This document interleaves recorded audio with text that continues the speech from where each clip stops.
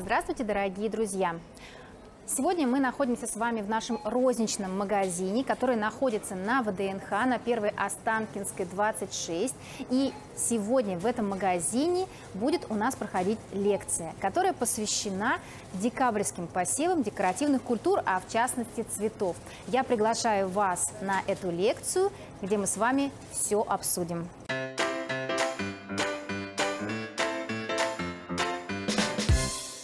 Сегодня у нас лекция, которая посвящена декабрьскому посеву цветов, э, ну, различных декоративных культур, то есть не обязательно это какие-то цветочные именно культуры, которые у нас э, именно цветут. Это может быть и декоративно-лиственные культуры. Э, напоминаю, что меня зовут Анастасия Игнатова, я агроном компании «Партнер», и вот конкретно я занимаюсь именно в большей степени цветочными культурами, Поэтому, наверное, мне интереснее и удобнее именно об этих культурах и рассказывать.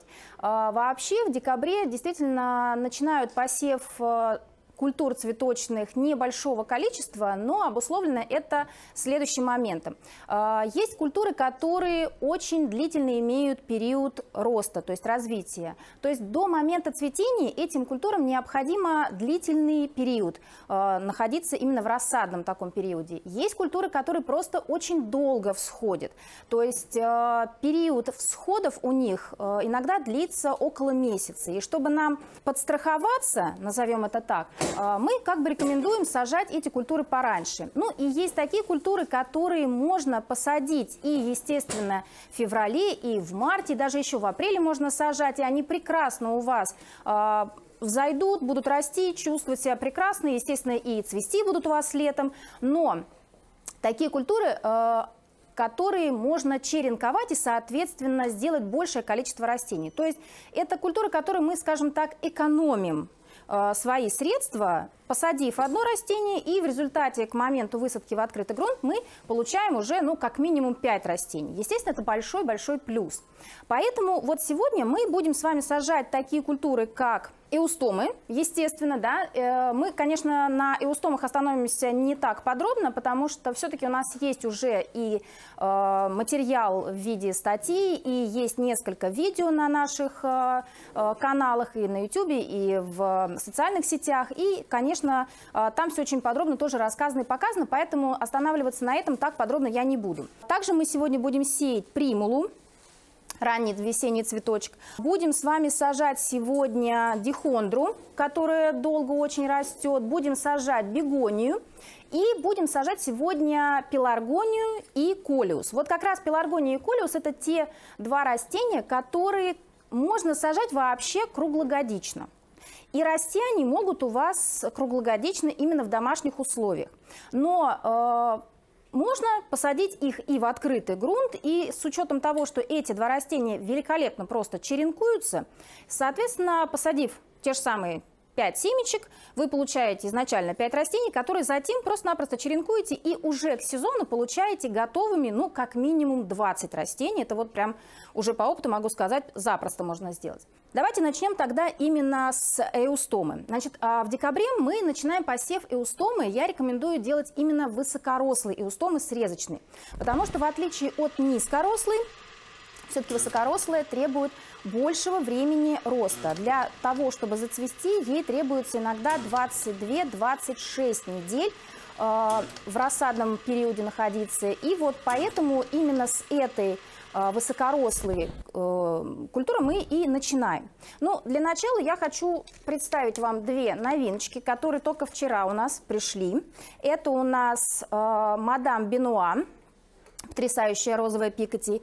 И очередная новинка серии «Принцесса» – это Эльза. А, нежные такие лавандового цвета а, цветки у нее, большое количество а, бутонов одновременно, до 20 штук у нас формируется, и плюс еще около 20 может быть раскрытых именно цветков, соответственно, все это вот такое великолепие, которое действительно будет украшением являться сада. Если вы эти растения посадите в кашпо, то э, легко можете потом заносить это в дом, и у вас будет продолжаться цветение еще очень долгое время. Сохранить эустому в домашних условиях, в принципе, несложно.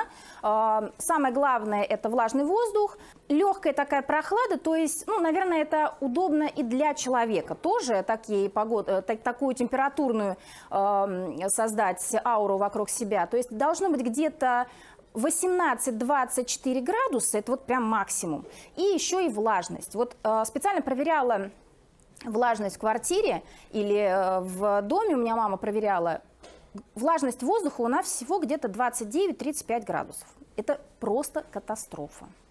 Это катастрофа не только для вас, это, конечно же, и на растениях сказывается. Поэтому, кроме того, что опрыскивать нужно растение, оптимальный вариант – это, конечно же, какие-то увлажнители ставить. Это и вам будет хорошо, это будет и растениям хорошо. Сами заметьте, как листочки у вас будут действительно такими сочными, зелеными, насыщенными. Э, не будет выглядеть растение угнетенным. Сколько бы мы не кормили, какие бы мы лампы не использовали, но если сухой воздух, все, это беда для растений. Вот представила вам две новиночки, и давайте, наверное, мы будем сейчас как раз сажать. Теперь, значит, а, что, на чем еще хотелось бы остановиться очень подробно? На грунте, который мы будем использовать. В видео я показывала, а, что существует два способа посева а, цветов. Это первый способ, это можно сажать именно в грунт, в лоточки в какие-то. И второй способ – это посев в такие вот таблетки Джифи. Джифи – это конкретно фирма, это не просто, знаете, как любые таблетки, которые вы приходите и говорите, мне нужны Джифи, вам что-то продают. На самом деле таблетки э, существует нескольких видов. Есть именно э, трофяные таблетки компании Джифа, которые, вот на мой взгляд, уже проверены, наверное, более 10 лет – я сажаю цветы именно в эти таблетки. И я могу вот от себя лично гарантировать, что эти таблетки самые лучшие. Самые качественные. Качественные, качественные не только торф, который там содержится, чистейший, но еще и вот эта вот оболочка. Она очень важную роль играет, потому что есть таблетки, которые, когда вы заливаете, наверное, видели, что начинает все сразу вымываться. Вся вода у вас вот в этом торфе. Дело в том, что у таблеточек должно быть обязательно закрытое дно. Вот как раз вот эта фиксация дна, она и будет говорить о том, что у вас таблетка никуда не расползется. Плюс вот эта оболочка, она должна быть из тонкого нетканного материала. Потому что если материал будет какой-то бумажный или какая-то вот грубая такая материя, быстро очень пересыхает, очень быстро проникают какие-то бактерии, вирусы, таблетки начинают зеленеть, синеть и так далее. Вот с этими таблетками такое не происходит. Вот поэтому, если вы э, решите сажать в таблетки, то вот я рекомендую вам от себя лично именно использовать таблеточки Джифи. Какой диаметр, здесь уже смотрите сами. Во-первых, э, диаметр есть очень мелкий, и он, конечно же, подходит для мелких семян. Если э, семена более крупные, как у той же самой пеларгонии, конечно, надо выбирать уже таблеточку покрупнее диаметром. Опять же, вы можете и в более крупную таблетку посадить одну семечку той же самой иустомки. Она в этой таблетке просто будет дольше у вас развиваться, дольше у вас больше есть времени для того, чтобы не заниматься пикировкой. То есть это, скажем так, для вас большой плюс. Ну, а если вы используете все-таки способ именно посадка на грунте или в грунте, то тогда используйте, пожалуйста, чистый торф, просто с добавлением перлита или вермикулита, не более 10%. Никаких добавок в виде биогумуса, никаких удобрений не надо, пожалуйста, использовать. Смотрите, чтобы торф был очень легким. Есть прекрасные э, грунты, универсальные. Ну, например, возьмем, у нас в магазине есть э, грунт «Земля-матушка». Потрясающий грунт. Но он прекрасно подойдет для пикировки, для перевалки, но не для посева он слишком насыщенный. Если э, вы видите грунт, который вот вы берете, а вот вы даже через пакет ощущаете, что он такой, знаете, вот как даже через пакет жирненький, плотненький, отказывайтесь. Или возьмите его на потом. Сейчас нужно брать именно легкий грунт, потому что в семечке заложена вот эта сила, ей необходимо просто помочь раскрыться этому семени. А раскрыться можно только в легком нейтральном торфе. Положила специально почву брикет, сажали тоже очень много а, рассады именно в почву брикете.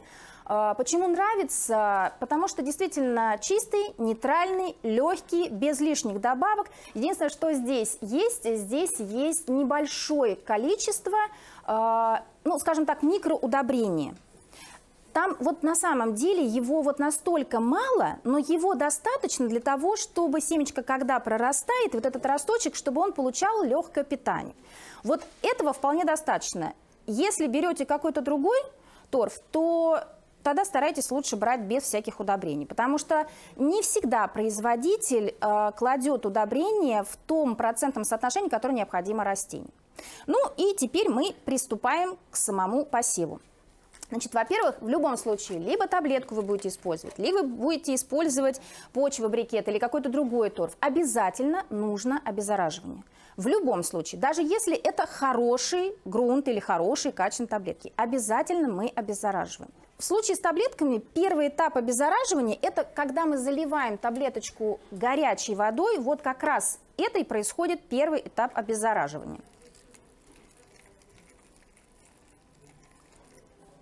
Таблеточки очень довольно-таки быстро у нас здесь набухают. Пока они набухают, мы с вами открываем семена. А, что хочу сказать о семенах. Семена при покупке, после точнее покупки, старайтесь хранить в холодильнике. Потому что в любом случае, даже если вы посадите из пачки, предположим, из 10 семечек только 3, все остальное вы будете хранить в холодильнике. Потому что именно в холодильнике будет сохраняться стабильная температура и стабильная влажность. То, что необходимо. Это касается не только семян цветов, это касается любых абсолютно семян, овощных, в том числе культур. Особенно, конечно, это касается семян пряных культур. Потому что у пряных культур у них очень часто снижается схожесть а, от времени. И вот они наиболее чувствительны вот к этим перепадам температур. Чтобы этого не происходило, все семена всегда храним в холодильниках. А, наверняка видели, у нас а, здесь э, на около вот прилавочка, да, стоит холодильник, где мы храним наиболее чувствительные семена, которые вот э, очень сильно реагируют. Это у нас дельфиниумы. Вот им прям обязательно нужно. Остальные семена у нас здесь представлены, скажем так, ну, в районе э, 10-15 пачек. Все остальное точно так же на складе в холодильниках у нас лежит. То есть у нас большие такие камеры, где лежат вот эти семена. Естественно, здесь э, поток покупателей большой. Э, конечно, проходит большое количество людей и пр продается, э, продаются семена очень быстро. Поэтому мы не переживаем, что у нас что-то долго висит. И, соответственно, вы получаете уже такой вот некачественный качественный товар. Поэтому вот э, при покупке сразу в холодильник убираем. И достаем мы семена буквально за, за сутки перед посадкой. Нужно это для того, чтобы вот этот перепад температур, чтобы семечко привыкло, скажем так, чтобы не возникло никакого конденсата, чтобы у нас не разрушилась раньше времени оболочка. Так как семена у той же самой устомы очень мелкие, соответственно, просто-напросто при разрушении оболочки у вас происходит, что а, просто вы теряете семечку. А потом, когда высыпаете на ладошку и видите просто пыль, да, то, соответственно, вы начинаете теряться и говорить, что должно быть 5, а там всего 3. На самом деле их там 5. Но просто вот неправильное хранение или неправильно вытащили не вовремя, и, соответственно, вот оно нарушение произошло. Семена эустомы сеются у нас поверхностно. Так как это культура светочувствительная, то, соответственно, э, посев мы осуществляем именно поверхностно. Э, таблетки, когда вы их залили, они у вас чуть-чуть остывают, чтобы можно было руками, и излишек влаги убирайте. Я наливала не очень много воды, поэтому вот я даже так вижу, что излишка влаги у меня нет. Но при этом, посмотрите, пожалуйста, вот оно донышко, никуда у меня торф не делся, весь торф, вот если посмотреть, если посмотреть, то у меня здесь излишка торфа никакого не получилось. Как раз то, что нам было нужно. Ставим просто аккуратненько. Что нужно сделать, это вот аккуратно пальчиком просто прижать вот так торф для того, чтобы, когда вы будете раскладывать, чтобы у вас, ну, знаете, как соприкосновение более плотное было с грунтом. Вот чисто для этого мы либо отжимаем таблетки, если видите излишек влаги, либо просто-напросто вот так прижимаем пальчиком. Потому что вот в таких таблеточках здесь есть небольшое углубление, и вот если положить туда таблетку, она, э, семечку, она может просто-напросто провалиться туда. Вот чтобы этого не произошло, аккуратненько просто прижали, сгладили все. И теперь мы раскладываем поверхностно, раскладываем семена. Значит, смотрите, что нужно сделать обязательно. Обязательно нужно, вот, чтобы эта оболочка, в которой находится семечко, ее нужно разрушить. У нас влажный торф, поэтому абсолютно будет легко взять просто зубочистку и слегка, чуть-чуть просто прижать к торфу вот эту таблеточку. На влажном как раз торфе вот эта оболочка, она у вас сама по себе будет таять. Если вдруг случается такое, что вы приобретаете, возьмем просто абстрактные какие-то семена, да, и раскладываем, я говорю, что абстрактные абстрактные фирмы, то есть ну, любой другой, да, мы просто как бы гарантируем качество и схожесть своих семян, потому что мы постоянно делаем поставки, у нас свежие семена. Поэтому вот этой проблемы не возникает. Но вдруг вот вы где-то увидели какой-то цвет, которого у нас нету, да, и он вот ну, настолько вам полюбился. Или, предположим, там с прошлых запасов остались семена. И вы, когда начинаете прижимать э, гранулку, она не рас не разваливается никуда. Вот тогда мы просто-напросто берем и аккуратненько пипеткой рядом, не на саму гранулу, а рядом просто еще дополнительно увлажняем и еще раз разрушаем. То есть наша задача обязательно разрушить эту оболочку. Потому что из-за того, что семена всходят на свету, нужно обязательно, чтобы семечко у нас сразу попало под свет. Семена эустомы всходят при температуре плюс 22-24 градуса. Если э, досветка будет круглосуточная, то семена взойдут в течение 5, максимум 7 дней. Если же так получается, что ну, нет возможности у вас круглосуточно досвечивать, хотя бы досветка должна быть 14-16 часов. Тогда немного увеличивается э, срок схожести. Может взойти, могут зайти в семена в течение ну, 14-15 дней ориентировочно. А вот если досветки не будет, то вообще по ГОСТам семена и устомы могут сходить до месяца. Поэтому то же самое касается и свежести семян. Если вы посадили 5 семечек и у вас взошли только 2-3, не отчаиваемся, ждем. Потому что энергия в схожести у семечки, она так же, как у детишек, да, иммунитет в детском садике. Один заболел, второй заболел, а третий нет, продержался все время. То же самое у семечек. Вот Энергия схожести у семян разная. Соответственно, некоторые взойдут быстрее, некоторым нужно чуть-чуть побольше времени. Это не говорит о качестве семян, абсолютно. Это такая особенность у данных культур. Закрываем крышечкой, я буду досаживать, поэтому потом закрою крышку. Чем еще удобны вот такие наборы. То есть, конечно, можно взять по отдельности эти таблетки. Э, чем вот мне нравятся эти наборы? Когда закрываем, вот здесь остается небольшое пространство. И, соответственно, наши таблеточки, они дышат. То есть есть парник, но нету вот этого именно парникового эффекта, когда у нас возникает здесь конденсат. В любом случае проветривать нужно. Но если вы закроете просто пленкой или стеклом, проветривание необходимо делать ежедневно 2-3 раза. Если вы закрываете вот такими специальными парничками, приобретаете их, не обязательно эти, а есть и другие парнички, я имею в виду, что просто готовые именно парнички для рассады, у них предусмотрены вот эта вот система проветривания. Соответственно, вы просто ежедневно один раз открываете только для того, чтобы дополнительно сбрызнуть свои посевы. Все. У вас растение абсолютно нормально дышит. По эустомке, я думаю, что мы с вами все разобрали, больше никаких моментов таких вот подводных камней у этой культуры нету. 22-24 градуса, посев поверхностный и обязательно под лампы. Так, следующая культура, это у нас будет, э, давайте возьмем дихондрум. В нашем ассортименте пока дихондры нету, мы все надеемся и верим, но Растение очень популярное и действительно очень красивое. А, наверняка знаете, что дихондру сажают именно в кашпо, в подвесные. В открытом грунте эту культуру, ну, как бы не рекомендуется выращивать, потому что это действительно такое ампельное растение, красивое очень. И ее можно выращивать как отдельно в кашпо, так и в сочетании с другими цветами. Наверное, самым классическим сочетанием это все-таки у нас является сочетание эустомы, э, дихондры и э, петунии или калибрахуа. То есть вот эти два растения с э, дихондрой сочетаются просто потрясающе. Хотя, с другой стороны, если у вас есть возможность, например, поставить высокое кашпо, посадить красивый колиус какой-то и внизу посадить дихондру, будет смотреться тоже потрясающе. Дихондра бывает двух цветов, насыщенного зеленого цвета и серебристого. Э, опять же, больше популярностью именно серебристые пользуются. И это растение, которое, несмотря на то, что является однолетней культуры именно в условиях выращивания открытого грунта, вообще дихондры – это многолетник.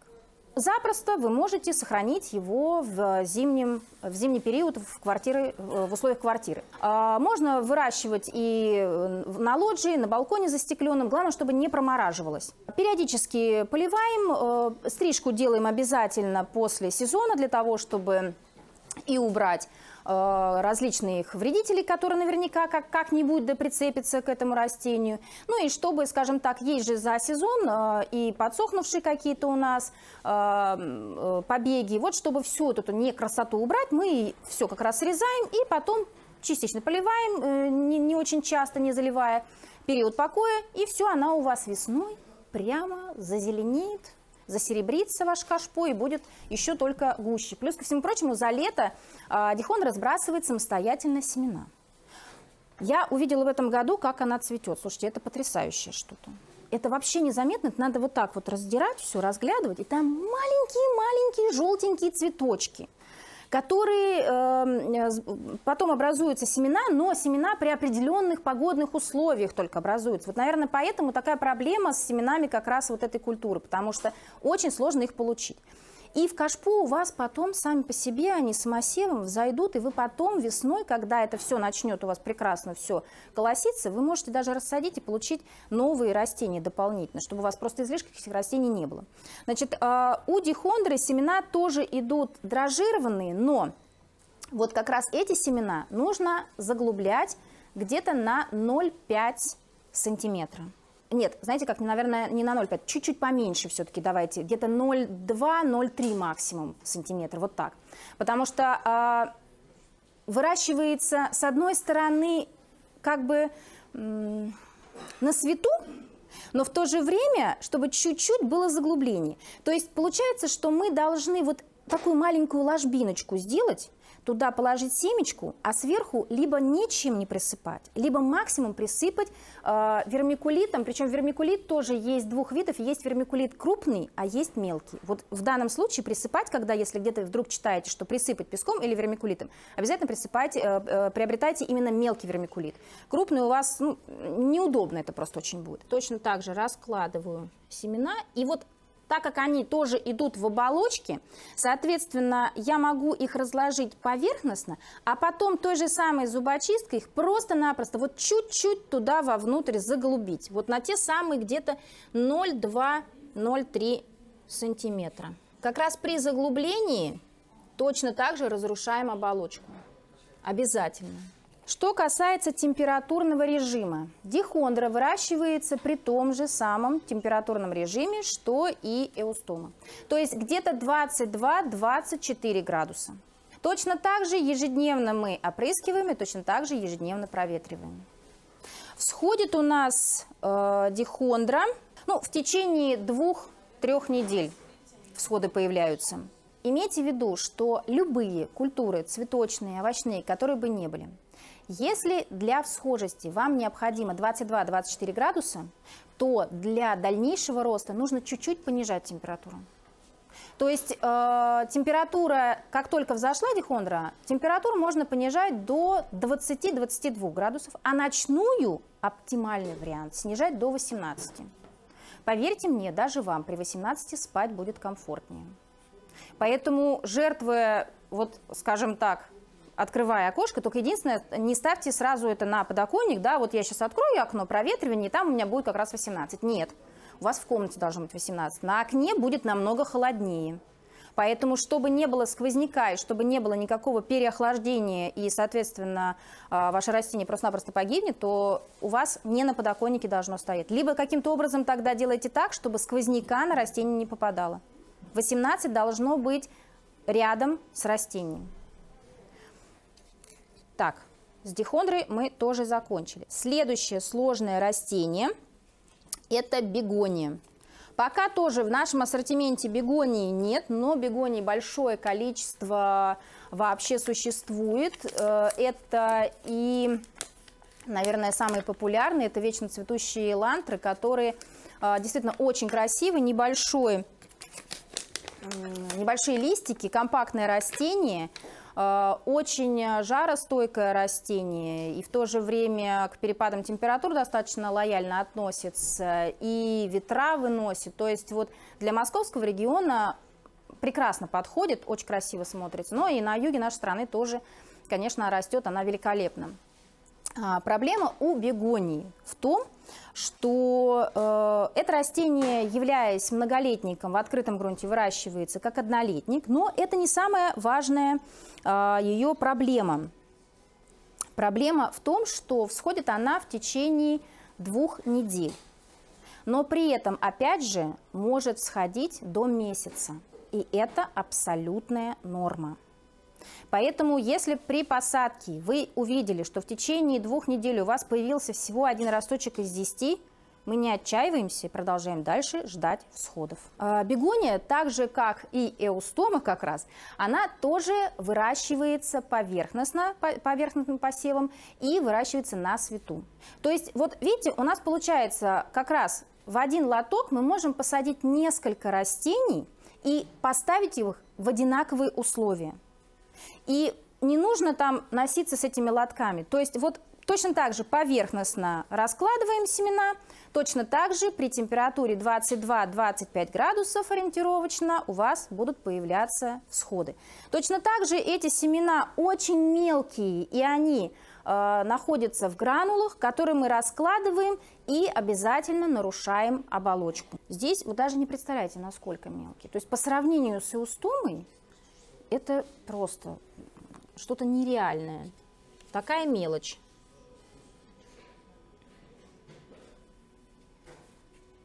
Так, вот с этим лоточком я закончила. Всю оболочку я вот аккуратненько нарушила. И теперь, чтобы этот лоток закрыть, прежде чем мы его закрываем, мы обязательно должны дополнительно еще обеззаразить наши таблетки, наши пассивы. С помощью опрыскивателя.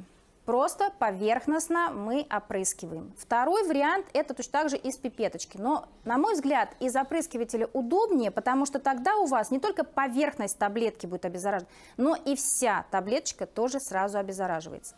А, на мой взгляд, использовать лучше всего биологические фунгициды, Здесь выбор абсолютно, какой вы хотите, на том и останавливаетесь. Вот я принесла специально самые такие, наверное, распространенные фитоспорин. Это средство известно всем давно и очень удобное. Тоже очень популярный оздоровитель почвы можно. И еще один препарат, который мы буквально вот на днях закончили испытание – можем рекомендовать э, триходерма против именно вот этот, потому что есть большое количество препаратов, которые на основе триходермы. Все эти препараты, они содержат один штамм э, триходермы. Здесь содержится два, которые вступают в симбиоз и усиливают действие друг друга. И, соответственно, большее количество э, болезней у нас как раз э, можно избежать, именно используя такой препарат. Это не реклама никакая, я не настаиваю конкретно на нем. То есть, опять же, любой абсолютно биологический препарат, если вы будете готовить э, почву заранее, на упаковках, кстати, э, часто прописывают, что при подготовке почвы перед посевом там за 5-6 дней можно провести обеззараживание. Это прекрасно, все замечательно, но после посева тоже можно дополнительно еще обработать. Если, предположим, вы приобрели таблеточки или, например, вот спонтанно у вас вдруг вот душа потребовала именно сегодня сделать посев каких-то цветов да, или растений, и вас некогда вам ждать этих 5-6 дней, не переживаем. Просто-напросто пролили горячей водичкой, чтобы чуть-чуть постояла, остыла земля. После этого обеззараживаем. Эффект будет такой же. Поэтому вот аккуратно.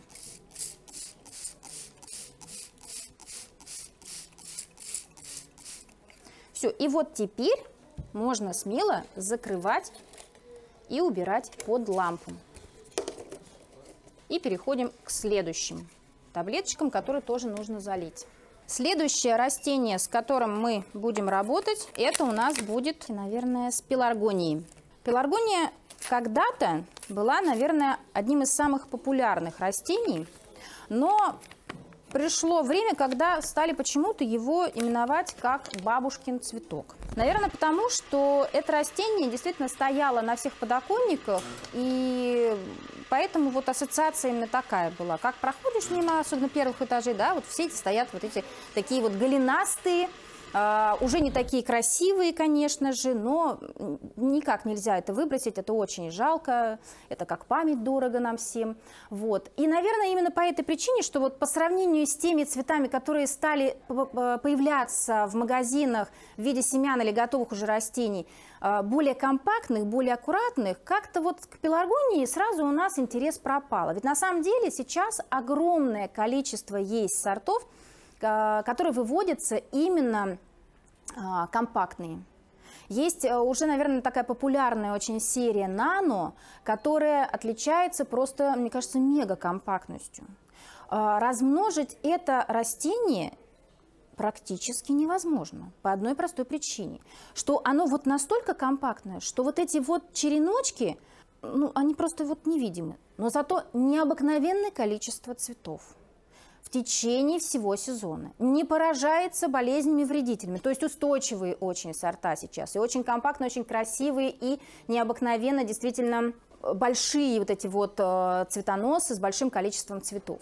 Э, поэтому сейчас становится тоже она популярной. И я бы рекомендовала обращать на нее внимание, потому что действительно очень красивый цветок, который может и в открытом грунте прекрасно расти, может и в кашпо, и в домашних условиях прекрасно растет без всяких проблем. И выращивается, главное, он тоже без проблем. А, значит, какая сложность может возникнуть с пеларгонией? Дело в том, что семена у пеларгонии, они в плотной оболочке.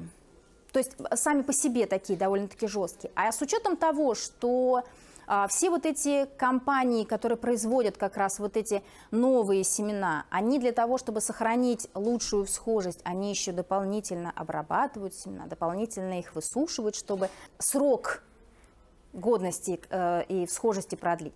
Соответственно, семечко может всходить дольше, чем мы привыкли. То есть вообще, скажем так, вот по своему опыту, я могу сказать, что у меня беспроблемно абсолютно э, пеларгония всходит через 5-7 дней. Но бывает такая ситуация, когда действительно пересушенные вот эти семена, это, с одной стороны, плюс – но с другой стороны, мы же нетерпеливые. Я же посадила и жду, когда же оно зайдет, а оно не всходит. А оно даже росточка не показывается. А с учетом того, что если э, предыдущие семена мы с вами по поверхности сели, вот эти семена, они заклубляются где-то на 0,5-0,7 максимум э, сантиметра, мы еще и не видим эту семечку. И поэтому тут вообще очень большая беда. Мы начинаем переживать, а оно там как вообще? Хочется его разрушить, хочется посмотреть, где оно, что с ним происходит. Теоретически это можно делать зубочисткой. Чуть-чуть приоткрываем грунт и смотрим, а семечко там вообще набухшее или нет. Вот если набухшее, спокойно закрываем дальше грунт и ждем. Если видим, что семечко как была, так и осталась, вот тут надо подумать, а не сменить ли нам производителя. То есть э, действительно бывает так, что вот производитель грешит. А вторая сложность, которая возникает э, с семенами пеларгонии, это то, что из-за того, что плотная оболочка, а, необходимо ее разрушить, чтобы помочь ростку а, появиться на свет. Называется такой процесс скарификация. Некоторые производители прям так сложно вот это пишут, все, это паника у покупателя, он не знает, что это слово означает. На самом деле ничего сложного нету. Процесс скарификации, он очень простой.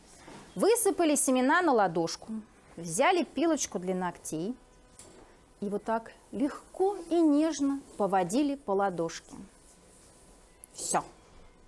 Без сильного нажима, потому что если сильно нажать, можно повредить семечку. Тогда вообще все, пропало дело. Можно, конечно, делать на столе, но тогда, опять же, без сильного нажима, потому что есть возможность, вероятность того, что вы прям от души прокатитесь по ней. Ну, или еще один способ. Значит, наждачку кусочек положили, разложили семена и просто, опять же, рукой чуть-чуть провели, чтобы прокатать вот так вот. Все, вот на этом процесс скарификации закончен. Если вдруг прям опасаетесь своей грубой силы, даже не проводите его. Взойдет все равно, но взойдет не через 5, а через 10 дней. Хотя у меня, еще раз говорю, всходит на седьмой день, прям солдатиками. Если вдруг, вот как здесь, семена находятся в обработанном виде, то есть окрашенные, это говорит о том, что они не, только, они не просто так окрашены, не, не так, чтобы их было видно, а для того, чтобы, во-первых, показать, что они прошли обработку каким-то препаратом обеззараживающим, а во-вторых, это показывает то, что производитель уже сделал за вас все дело, и он уже скарифицировал эти семена. Все. Мы ничего, окрашенные семена, мы ничего с ними не делаем. Мы просто их раскладываем по грунту или по таблеточкам, заглубляя на 0,5-0,7 сантиметра. Температура, при которой всходят семена пеларгонии, так же, как и у предыдущих, где-то 24 градуса. И здесь мы уже, а, с учетом того, что у нас семена заглубляются, то есть в принципе нет необходимости ставить их сразу под цвет. Их нужно будет поставить под цвет, как только они зашли. Вот петельки показались, все, ставим под цвет. Опять же, если у вас нет такой возможности расставлять по разным углам свои э, семена, то ничего страшного с данной культурой не произойдет, если вы посевы сразу поставите под лампы. Мне кажется, это только стимулирует еще быстрее их зайти. Потому что есть такие вот э, семена, например, как э, катарантусы. Им нужна именно темнота. Поэтому вот их нужно будет убирать обязательно от цвета. Они именно всходят в темноте. А вот как только появились петельки, мы их сразу достаем. Потому что я помню, что у меня бабушка, например, она у меня даже убирала эти вот коробочки с катарантусами, она убирала под батарею. И главное было не забыть про это, что там стоят семена, их нужно периодически доставать. А так вот они вот действительно сходят в темноте. Так, и с этим растением мы разобрались. Так, теперь у нас колиус. Еще одно растение, которое есть в нашем ассортименте, представлено вот такими вот прекрасными окрасками. Мне кажется, это одно из самых неприхотливых растений именно по схожести. Сеется поверхностно, ставится под лампы при температуре 22-24 градуса. То есть все то же самое, как и у стома, только всходит быстрее. И еще один момент, который у нас может возникнуть именно а, с колиусами. Вот на фотографиях видно, что у них декоративный лист. И, соответственно, когда вы сеете семена, и у вас они появляются всходами, а, вы ждете сразу окрашенных вот этих листочков. Не будет. И не только семидольные, и даже первые, вторые и даже третьи листы могут быть не окрашенными. За окраску будет отвечать свет, наличие света и качество света. Вот в данном случае мне кажется, что вот как раз две культуры, которые четко вам дадут понять, насколько важно взять хорошие лампы. Это пеларгония, причем пеларгония с шоколадным листом, и любой колиус, яркий который. Дело в том, что вот этот пигмент, он проявляется только при качественной досветке, при качественном свете. Если вы ставите э, под какие-то простые лампы, у вас цвет, э, цвет на листиках не проявится. И если он проявится, то проявится очень и очень не скоро. И будет он бледным, страшным, и вы будете смотреть и говорить, зачем я это взял, зачем оно мне надо. Но как только вы это вот несчастное бедное растение вынесете на солнечный участок и поставите, вы просто его не узнаете, он преобразится. Вот у нас на подоконниках стоит довольно страшный кулиус, который пережил солнечные здесь яркие лучи, он стоял на солнце. Он был необыкновенно яркого, вот это такого, знаете, оранжево-кораллового цвета. необыкновенно красивый. Недостаток света видно, как проявляется. Если поставить его под лампы, во-первых, количество листьев моментально увеличивается, во-вторых, сам лист становится крупнее, в-третьих, он становится ярче. Поэтому вот это уже, знаете, такое, мы можем говорить о том, что рекламу мы делаем, не делаем рекламу. Но когда ты дома видишь сам вот этот результат, ты понимаешь, что да, это того стоит. Поэтому не экономьте. Всходит э, колиус, еще раз говорю, очень легко, и всходит он в течение двух недель ориентировочно. Э, развивается на начальном этапе довольно медленно. Знаете, так медленно появляются листочки, медленно все вот какое-то, вот он и вроде как сидит на одном месте, и вот какой-то он такой грустненький, но не переживайте. Придет момент, когда корневая система у него окрепнет, и когда вот уже все, корешочек такой готовый, к тому, чтобы вот так вот все вам распустится, и он, он очень быстро, через определенное время, он очень быстро начнет расти, и у вас появится возможность как раз вот это все начеренковать. А вот с черенков получить хорошее крепкое растение у колиуса это вообще элементарно. То есть э, пожертвуйте, скажем так, возможно, одним растением, ну не одним, а там вот вы вырастили 5 растений, да, и вот три растения, просто пожертвуйте ими для того, чтобы э, как маточники их использовать. Возможно, вы их начеренкуете к началу сезона настолько, что у вас уже от них самих ничего и не останется-то. Зато у вас появится новых с каждого растения, ну, не меньше пяти растений. И они у вас будут развиваться намного быстрее. Поэтому вот этот момент нужно тоже для себя решить, что вы хотите. Плюс, ко всему прочему, для того, чтобы получить большое количество боковых вот этих стеблей черенков, вам необходимо просто-напросто прищипывать периодически. Вот этот тоже момент не забываем, и тогда у вас действительно будет очень много э, хороших растений. И еще одно растение, которое э, мы сегодня будем сеять. Вот, наверное, это одно из самых проблематичных растений. Это примула. И проблема в ней возникает в следующем. Если со всеми предыдущими растениями мы в домашних условиях легко могли их вырастить, потому что температура, при которой всходят семена, была у нас 22-24 градуса. Да, ночную мы слегка понижали, но, как мы уже выяснили, для нас, для самих это было бы полезно. То вот с примулой здесь действительно возникают проблемы. Потому что после посева примула должна находиться при температуре плюс 12-17 градусов. Есть еще один способ, как ее, скажем так, э, стимульнуть для того, чтобы она у вас быстрее взошла. Так как это очень холодостойкое растение, поэтому вот как раз примулу можно сажать не в таблетки, а в грунт. И при этом присыпать снегом или по снегу раскладывать. Тогда мало того, что эти семена нужно обязательно хранить в холодильнике перед посевом, вот когда вы посеете на снег, то тогда у вас получается дополнительная шоковая такая вот э, стратификация, то есть охлаждение происходит. И семена примулы всходят намного быстрее. Опять же, по ГОСТам, которые придуманы не нами, по ГОСТам примула может сходить до месяца. И это норма. Это для первого класса семян. У нас первый класс. При этом еще одна фишка у этой культуры, что опять же по ГОСТам для первого класса стандартом является, что 60% схожести – это норма. Поэтому если вдруг у вас из 10 семечек взошли 6, ура, вы сделали все, что от вас зависело. Это не потому, что некачественные семена. Это просто потому, что это такая культура – это просто нужно учитывать.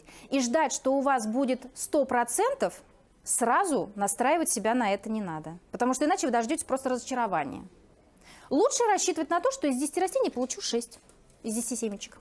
А вот если вы получите 8, представляете, какая это радость. Значит, сеем мы примулы точно так же поверхностно. Но Повторяю, что мы ставим ее отдельно при температуре плюс 12, плюс 17 градусов. Всходы у примулы появляются, ну, как правило, в течение 10-14 дней. И если вдруг надо будет подождать, то надо будет подождать. Точно так же это делается в парничок, точно так же проветривание и так далее. То есть вся технология выращивания, вот в данном случае она одинаковая, единственное, отличается только температурный режим. После того, как примула у вас зашла, вы можете чуть-чуть повысить температуру до 16-18 градусов. А вот через 6-8 недель после того, как вы посеете, как раз у примулы начинает формироваться розетка листьев и закладываться бутон. И вот это самый, наверное, ну такой сложный период, потому что температуру нужно опустить до 6 градусов и при этом это должен быть свет. Вы знаете, да, возможно, надо вывозить на дачу, на балконы застекленные, на лоджии, которые неотапливаемые, холодные. То есть вот это та самая культура, вот в этом и возникает как раз у многих проблема, как ее вырастить. Потому что если э, вдруг вы температуру не снизите до этих вот 6, ну 8 градусов, да, то она будет развиваться вы не потеряете растение. Но вот эта розетка листьев, она будет, знаете, похожа на качан капусты. А, соответственно, через этот качан капусты цветоносу просто не пробиться. И у вас в сезон вы высадите растение, но из-за того, что неправильно сформированное, во-первых, у вас не получится качественного цветения, а во-вторых, вот в этих самых кочанах очень легко образоваться различным э, грибным болезням. И вот это как раз и может стимули... Э, э, спровоцировать потерю растения.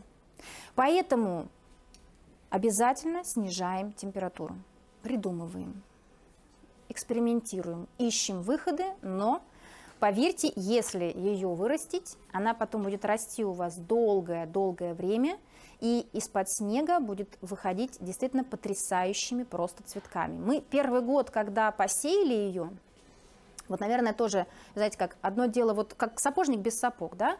Мы знаем эту технологию, но мы на наш русский авось. Где мы возьмем эти 6 градусов? Ну, мы посеем, посмотрим со всеми вместе растениями. Мы получили растения, все, замечательно. Но это были такие уроды, которые на них страшно было смотреть. Поэтому у нас ни в одном видео, ни, ни одной фотографии не было, потому что там просто нечего было взять. Зато, когда на следующий год они прошли вот этот долгий, сложный процесс – Э, адаптации к температурам и всему прочему, мы получили просто фантастические цветки. Просто. Вот у нас такие фотографии, что мы сами смотрим и сами себе завидуем. Какие мы молодцы. Как нам это удалось? Потому что там действительно необыкновенные окраски, и у нас возникали даже вопросы, потому что э, вопросы такого плана, что мы не могли разобраться, что это за растение. Потому что фотографии на упаковках порой не передают тех красок, которые по факту мы получаем. Вот очень часто как раз, да, а, приходят жалобы, что а, какие-то цветки, да, у нас не соответствуют в окрасках. Это проблема, во-первых, в цветопередаче именно вот на пакетах, а во-вторых, условия выращивания. Вот очень сильно это видно, мы я надеюсь, что в следующем месяце э, продолжим посевы различных культур цветочных. И когда дойдет дело у нас до виол, э, я покажу вам несколько растений, фотографии, э, которые и покажу упаковки. И вы поймете, о чем я говорю. Потому что условия выращивания э, температура, которая от нас не зависит, то есть это погодные условия именно летнего периода. Количество солнца, количество дождей, ветра, подкормки, все вот эти все пункты, если перечислить, то можно увидеть, что несоответствие цвета на упаковке и в реале. В реале они намного красивее. И поэтому, когда вы ожидаете увидеть, например, какой-то бледно-розовенький цветочек, а у вас там насыщенные краски, не пугайтесь, это не пересорт. Это просто условия выращивания, которые вы сделали сами. И это не минус, это плюс, вы просто имеете в виду. Вы просто проанализируйте, что вы делали. Возможно, вы какие-то подкормки делали, которые как раз повлияли. Возможно, это были какие-то температурные, погодные условия, на которые вы влиять не могли, но вот они привели к такой ситуации.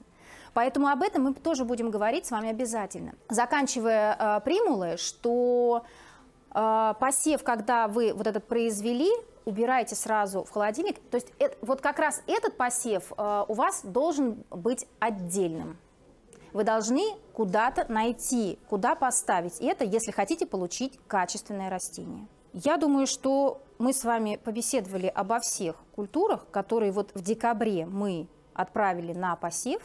В январе мы с вами, я надеюсь, встретимся и продолжим посев, потому что количество растений у нас большое, и помимо того, что мы будем продолжать сеять цветы, мы еще будем сеять обязательно пряные культуры которые тоже требуют обязательной работы, потому что они и дольше всходят, чем какие-то другие э, культуры, овощные те же самые, да. И тоже там есть свои фишки и нюансы, которые нужно учитывать обязательно.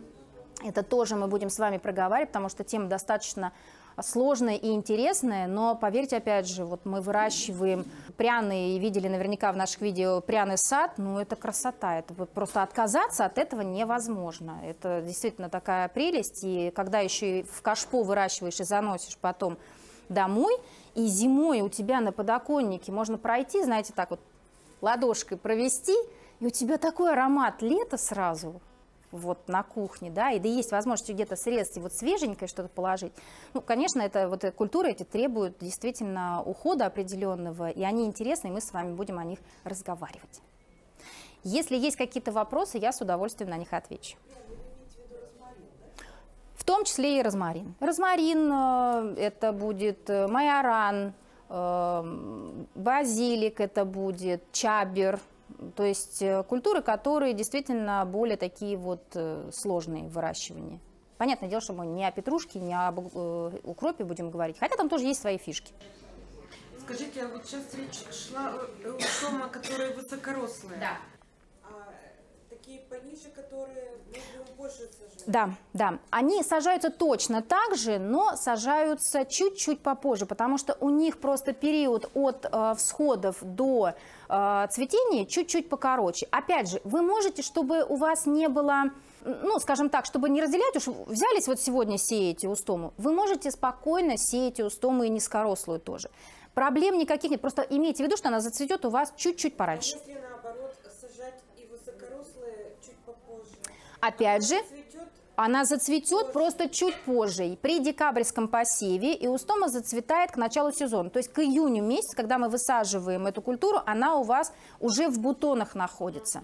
То есть, пожалуйста, вы можете, например, сделать посев в несколько этапов для того, чтобы, ну, скажем так, продлить цветение. Да? То есть у вас э, декабрьский посев, э, январский. Вот до конца января постараться посеять. Для жителей юга, у кого осень чуть-чуть оттянутая такая, то есть когда у них похолодания начинаются в октябре, там, даже в ноябре иногда. И можно еще и даже в феврале посеять устумы. Но если мы говорим о средней полосе России, то здесь лучше заканчивать концом января. А примула, если она сложна для выращивания в домашних условиях, если посеять сразу в землю, Можно. а в каком месяце? А, Смотрите, примулу можно сеять прямым посевом в грунт, либо в ноябре, так же как морковь мы сеем, вот уже чуть-чуть подморозило когда, да, и вот тогда, чтобы не получилось так, что вот эти оттепели туда-сюда, вот эти колебания температуры, если в октябре это делать, то колебания температуры, они могут спровоцировать раннее э, пробуждение семечки, и, соответственно, тогда мы можем просто-напросто не дождаться, то есть росток погибнет.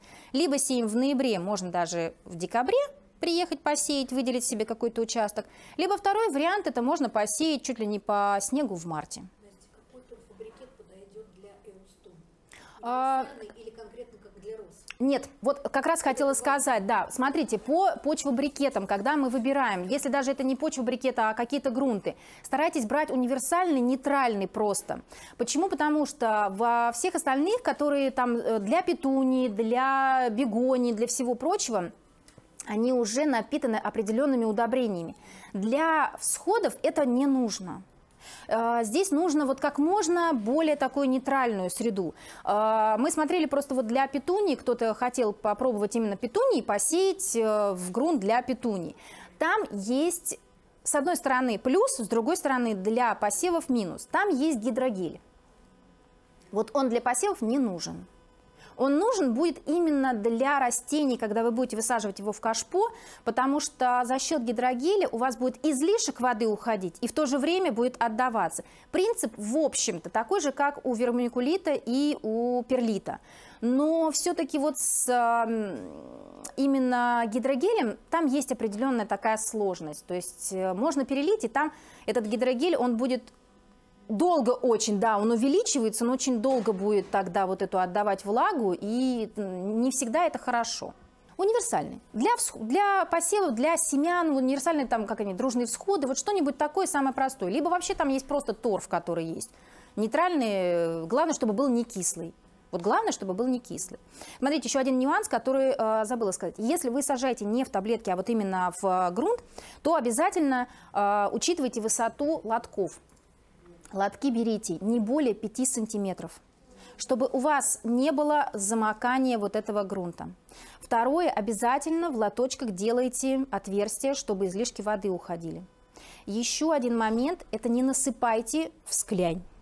Оставляйте где-то сантиметр между, от э, верхом.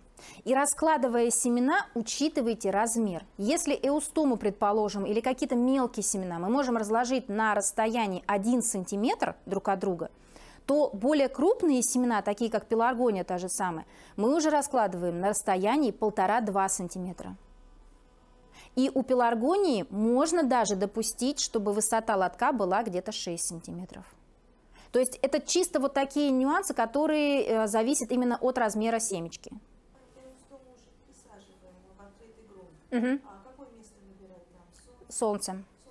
Солнце, но смотрите, а, э, мы уже проверили 2-3 года, наверное, сидит на солнечном участке. Развивается растение просто потрясающе. Но при этом, как только начинается похолодание, как только солнце становится меньше, то есть с августа месяца, цветки становятся ярче и меньше повреждаются солнечными лучами. То есть у, э, у стомы э, лепестки, они очень нежные. И с одной стороны им нужен свет, но с другой стороны на активном солнце, а у нас вот последние годы, сами прекрасно понимаете, что даже здесь, в московском регионе, солнце настолько активное, что я никогда не сгорала, но умудряюсь здесь сгорать, прям вот до ожогов. И вот что уж говорить о растениях, да, как с более чувствительной вот этой вот э, лепестками с чувствительными. Соответственно, на них появляются небольшие такие вот как ожоги такие по лепесткам.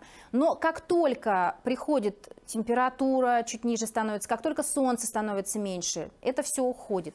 И вот э, цветение второй половины лета у эустомы, оно более насыщенное. Либо второй вариант, выделяйте ей какую-то площадку, которую есть возможность накрыть э, сеткой притеняющей. Я, конечно, понимаю, что это будет уже не так красиво, но мы тогда, по крайней мере, эту сетку можно на самые активные, то есть на вот э, июнь-июль делать какой-то такой вот, а потом ее убирать, и то есть у вас вот вся грядка вот будет э, в красоте. Ну, при самом лучшем варианте, как мы в этом году сделали, мы вообще в теплицу посадили.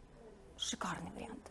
Ну, я прекрасно понимаю, да, когда у вас 6 соток, и нет лишней теплицы для того, чтобы высадить туда и устому, то, конечно, как вариант, можно сажать в кашпо и, да, и ставить вот там, а потом просто-напросто при вот по благоприятной погоде, я, конечно, понимаю, опять же, да, носиться с этими кашпо целое лето, но зато это красиво.